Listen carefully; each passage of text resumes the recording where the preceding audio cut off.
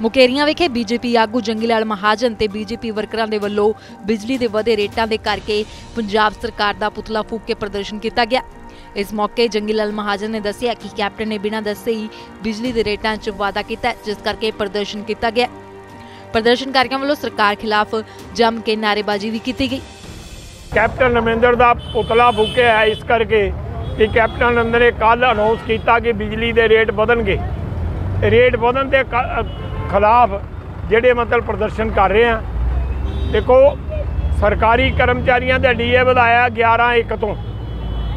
ਤੇ ਇਹ ਬਿੱਲ ਜਿਹੜੇ ਵਧਾਏ ਆ, ਉਹ 11 ਇੱਕ ਤੋਂ ਨਹੀਂ ਵਧਾਏ, ਉਹ 1 ਅਪ੍ਰੈਲ ਤੋਂ ਵਧਾਤੇ ਅਪ੍ਰੈਲ, ਮਈ, ਜੂਨ, ਜੁਲਾਈ, ਅਗਸਤ, ਸਤੰਬਰ, ਅਕਤੂਬਰ 7 ਮਹੀਨਿਆਂ ਦਾ ਰੇਟ ਜਿਹੜਾ ਉਹਨਾਂ ਨੇ ਪਿੱਛੇ ਵਧਾਇਆ।